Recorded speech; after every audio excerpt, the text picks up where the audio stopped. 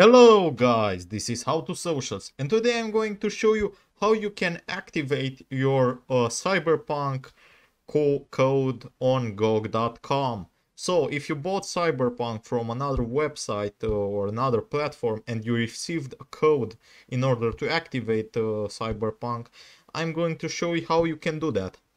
So without any without wasting any more time, let's get right into it. So once you're logged into your uh, GOG account on, and on GOG.com, what you need to do is just hover over your profile name, as you can see right here on this black bar, and go down uh, under wish list where it says redeem a code.